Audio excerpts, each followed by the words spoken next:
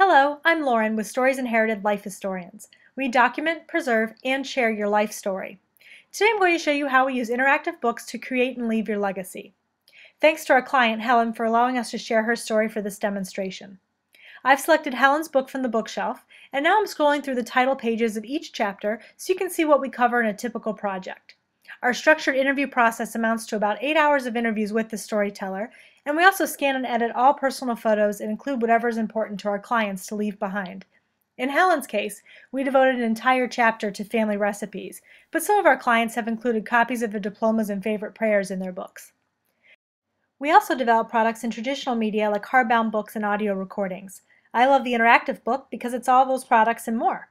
You can read through a chapter in Helen's book, then click and listen to Helen tell a story in her own words and style, and then flip through the gallery to see who or what she's talking about as she's telling the story. I mean, they should see my mother when she was raising me. anyway, I tried to break that cycle because uh, my mom. You can even watch video clips like this one.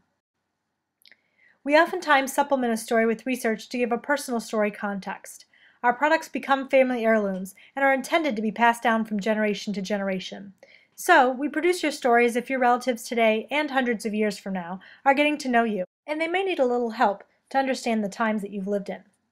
Helen's great-great-grandchildren might not know much about the Battle of Guadalcanal, but Helen wants her relatives to know how her father became a decorated soldier for his bravery during that battle. They can click on the phrase Battle of Guadalcanal and read about it in the glossary. I'll go to another entry in the glossary. Here you can see basic information about the country of Lebanon, including maps of where in the world it's located. Listed below is where Lebanon is mentioned in the book. Click and it brings you to that chapter. Our iBooks link to content inside and outside of the book. I'll go to where Helen and her husband started a successful baklava business.